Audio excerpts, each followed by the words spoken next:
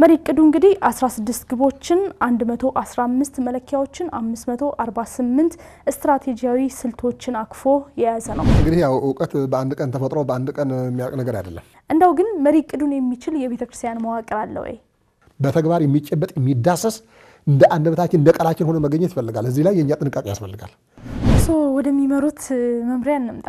ያለ መዋቅር መሪ እቅድ ይተገበራል ይሆናል ብሎ ያሰበ ባለሙያም የለም፣ ያሰበ መምሪያም የለም፣ ያሰበ ሲኖዶስም የለም። እቅዱ መንፈሳዊውን ኢኮኖሚያዊና ማህበራዊ የልማት ዘርፎችን በተገቢ ሁኔታ እሰራበታለሁ ብላ የያዘቻቸው ነው።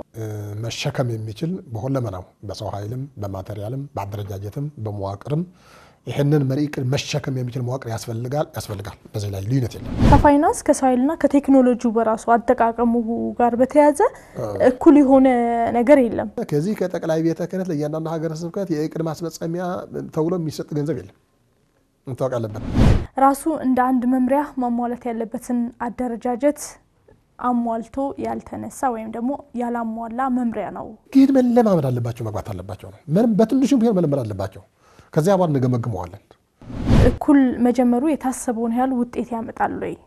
በተጨባጭ በግልጽ ግልጽና ተአማኒነት የሆነ ነገር ሽሉክሉክ የሌለው ቅጥፈት የሌለው ዝርክርክ የሌለው ብክነት የሌለው ታማኝ የሆነ ስራ እስከሰራን ሳንለሙ ነው በገዛ ይመጣል።